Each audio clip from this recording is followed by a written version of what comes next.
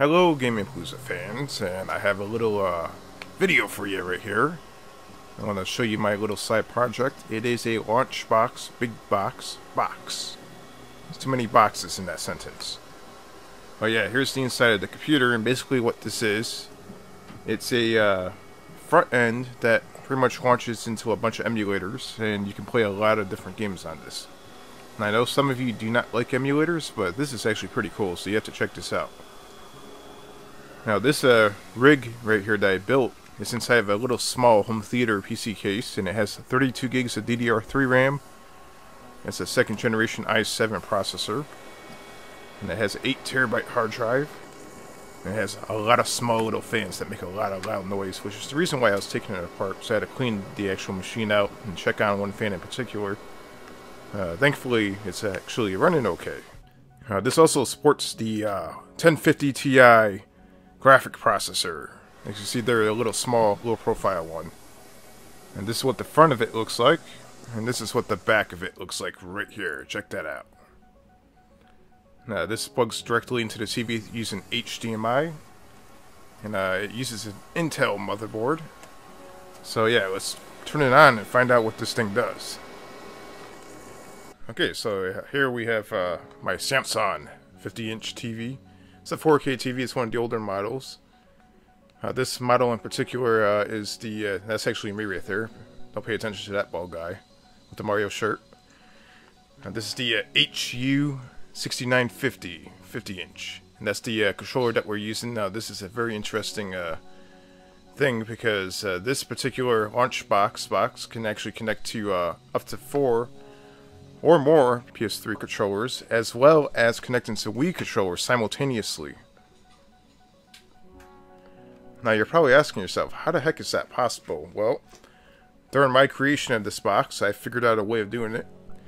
Uh, I still have not released that information yet, but it uses two Bluetooth adapters, to say the least.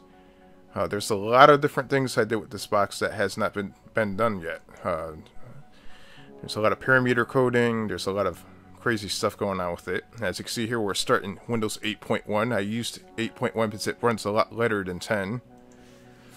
And, uh, for emulation, 8.1 is perfect. It has everything that you need. And uh, that's the uh, PS3 controller right there. You can see right there in the background we have uh, an Xbox One controller. And uh, automatically launches into big box mode. So you don't have to use keyboard or mouse. And uh, this is big box modes, and I pretty much added those graphics in myself, and we're turning the controller on right here. Player number one is lit up. Uh, that's big box mode right there on the TV, and you can scan through all these systems right here. We have Sega Saturn, Model 3, Model 2. We have a lot of different stuff here. Just look at that. Game Gear, Dreamcast, Sega CD, 32X. We even have uh, PC games, which I'll get into that a little bit later and uh, Wii games that actually use the actual real Wii controllers, which is quite interesting. GameCube games, uh, Game Boy Color, Game Boy Advance, standard regular Game Boy games, and we have NES, N64. The next one up there is Intellivision, ColecoVision. Here I am moving the camera around a little bit. Let's see if we can uh, zoom in right here. What the hell's going on? Yeah, look at that the Intellivision, and uh, yeah. So as the list goes on, there's a lot of Atari consoles also, which I love Atari. Uh, the background animation behind each console is actually something I designed myself. It has like a glass effect with the actual games playing in the background. So uh, no other launch box box has that background. And uh, each console image that pops up is actually a PNG transparent image that pretty much pops up in the foreground with the uh, information on each game, which is quite interesting. Look at this. You have all the PlayStations. Now, I don't have PS3 or, uh, well, let's check out PS1 right here. Yeah, PS1 and PS2, you can emulate it quite well. Uh, the PS2 is a little tricky. Some games don't run quite as well as others, but yeah. I mean, check out the list of PS1 games we have here. And I have a, quite a bit of legit PS1 games, so of course, there is going to be a handful of games I don't have that are, that are on this list, but I just don't have the room for the games. But this is the beauty of emulation. You can actually play these games in a really, really high resolution. See, this is a 4K TV, so it's possible I could play these games in 4K. And check this out. You have all the Duke Nukem games, ECW. Remember that game? Neo Geo. Speaking of the ECW game, I actually uh, remember going to uh, FuncoLand for that game, and because it was rated M for mature, I had, had to actually call my father to get approval. These are all the Super Nintendo games, and you see the little star beside each title. That means that those games are on the actual favorites list. And whatever you favorite automatically appears on top of the list instead of on the bottom. So if you scroll all the way to the bottom right here, anything that's not starred are not favorite games. So uh, those games are a little bit more easier to uh, find because they're automatically thrown to the top of the list. And here I am controlling the uh, PS3 controller right there. So if we can scroll down a little bit more and show you what we have here. And Super Nintendo's never not really that hard to emulate at all. It's quite easy. So we have uh, PS2 games. These are probably the more challenging games to uh, actually run on this machine, and most of them do run okay. There's a few that some don't run at all, and there's a few that do have some hiccups. So I have to, you know, some work to do on that. Uh, for the most part, these games run fine. And this is running off a second gen i7, so it actually handles perfectly fine on that. It's just the emulator itself is not quite perfected yet. That's the main issue. And the nice thing about this is if you have a pretty good rig, you can actually play decent, like 1080p at a higher frame rate, and uh, yeah, it looks nice. Here's some of the arcade games we got here. Got MAME. Now, the interesting thing about the uh, arcade games is that half of these I had to uh, use in a separate MAME emulator. I had to use like three different MAME emulators to actually get all this working. And the parameter coding was a nightmare. And the Atari 2600 games ran inside the MAME emulator as well, which is quite interesting. We have a GameCube right here. And uh, there's a crap load of GameCube games. I mean, look at this.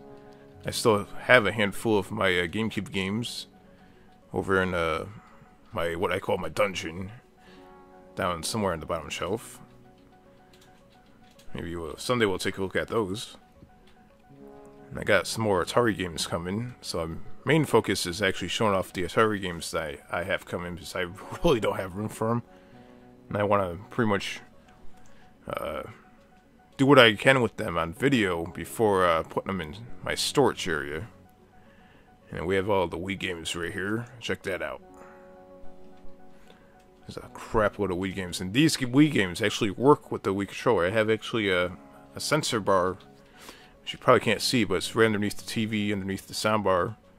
There's a little sensor bar hiding over there. And uh, it works quite well. Now, these are the PC games that I mentioned earlier.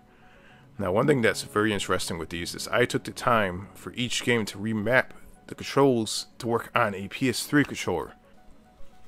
Yeah, I'm using the PS3 controller on this, and each one of these games work fine on that controller. It's actually really, really interesting. Most of them are dungeon crawlers, uh, or first-person shooters. Yeah, but check that out. There's not a big selection of them, and the main reason why is because it was a real pain in the ass remapping the controllers for each game.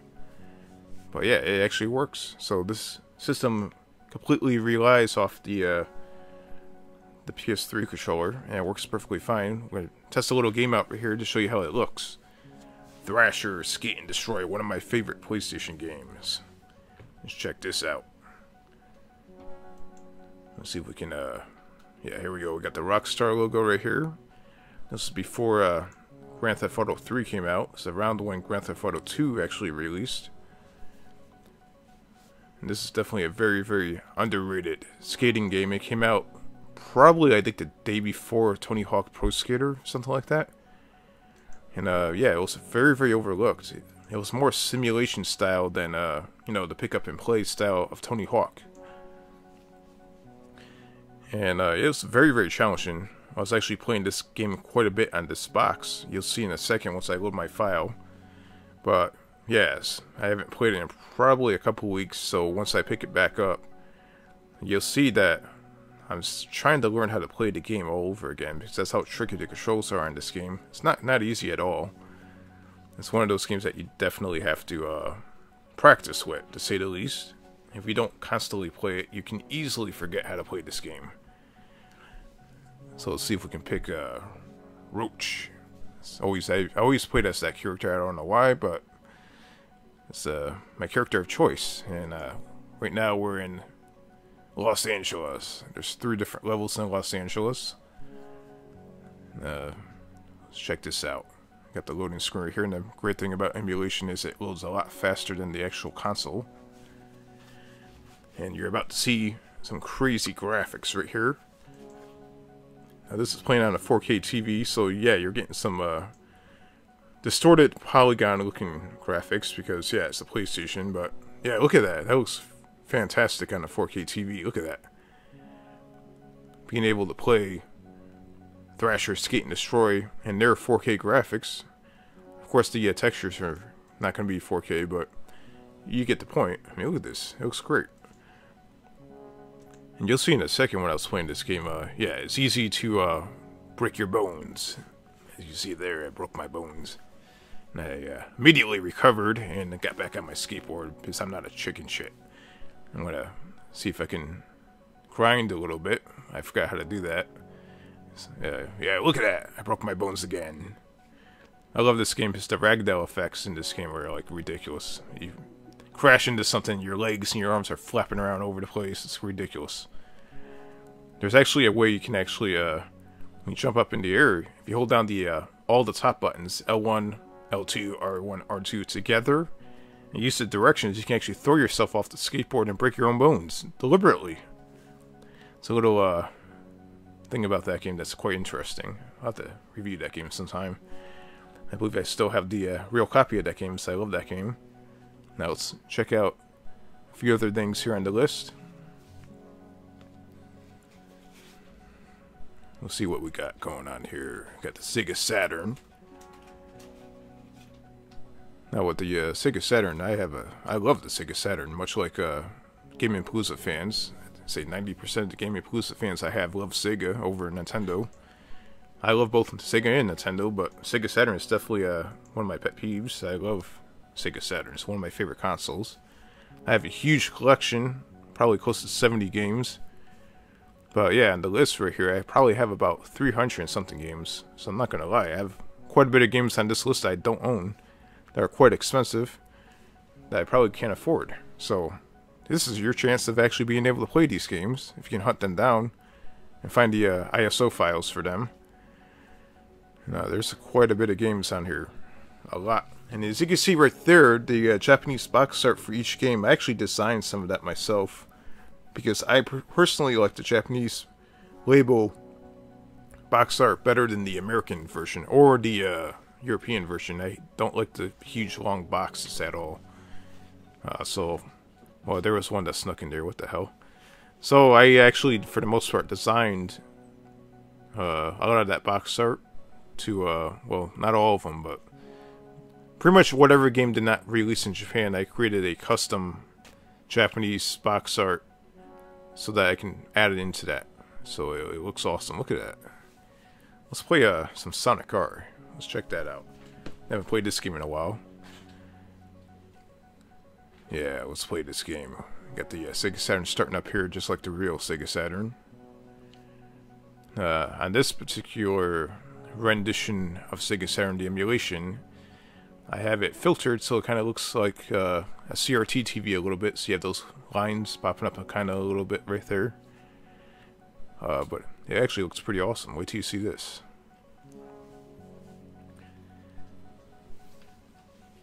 I'm gonna play the, uh, let's see, uh, playing this on the uh, PS3 controller is a little, uh, just a tad bit confusing because it's not laid out quite the same as the Saturn controller. I mean, I love the Saturn controller the best, but I actually have a USB Saturn controller, so technically I could plug that in and use that. But I'd rather stick with one controller and make it as less complicated as possible. Now let's choose our character here. And you can see there's still a little bit of jaggies on the uh, polygons. I couldn't quite, you know, remove all the jaggedness on that, but it looks a lot more clear than it did before. This is Sonic R me racing right here, and we'll see what place I come in. Trying to figure out the controls on this. When you first play this game after a long period of time of not playing it, the controls are very, very difficult. Most people say that this game sucks. I actually enjoy playing this game. It's actually quite challenging, to say the least. The controls are very slippery. So you have to get used to it. You have to get used to it real quick. And you see at the end of this race right here, I actually come in first place. And the reason why I came in first place is because uh, definitely enjoy playing this game quite a bit. Uh, when I had my Saturn hooked up regularly, I, I would play this game quite often. I remember this was probably the first Saturn game I played in FuncoLand when they had it on display, and I loved it. It was pretty awesome. And yes, the controllers do suck, but as you can see right there, I came in first place. I figured out a way around it. And basically, you have to do a lot of jumping. No, it's a self-booting launch box. I don't know if that even exists. I mean, there's a lot of people that have to use the mouse and keyboard to actually click on their big box mode to make it run, but in this case, as soon as you turn it on, it goes on. You don't have to push no buttons. You just pretty much put your PlayStation controller on and that's it. It's working. And it's pretty awesome. You have a lot of games on an 8 terabyte hard drive. It's pretty crazy. Uh, if you guys ever never used Launchbox before, you have to download that. And the big box mode is a cost that you have to buy, which I did buy my copy of Launchbox and Big Box. It's worth it if you have a lot of uh, ROMs and emulators because you can organize them. You can do exactly what I did right here. It's pretty awesome.